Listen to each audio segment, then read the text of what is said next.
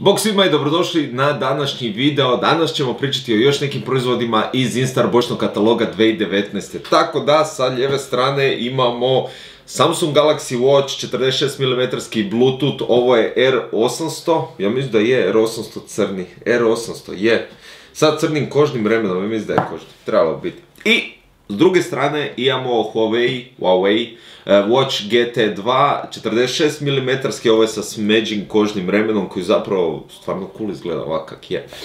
Ono što treba napomenuti je da se oba dva proizvoda nalaze u našem bočnom katalogu za kojeg je link dole u opisu i možete naravno pogledati sve ostale proizvode.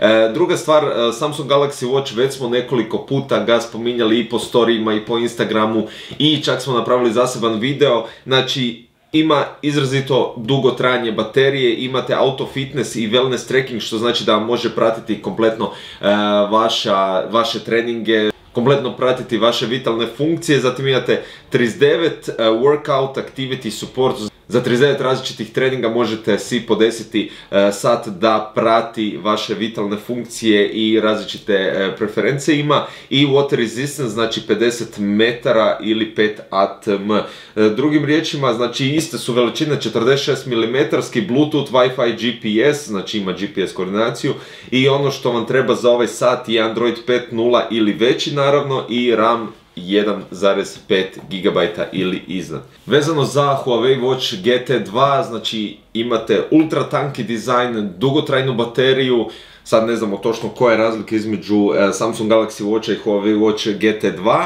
vezano za bateriju, no oni su naveli da baterija za Huawei Watch GT2 traje do 2 tjedna, naravno prepostavljam ovisi o svakom korisniku i koliko će koristiti sat i na koje načine.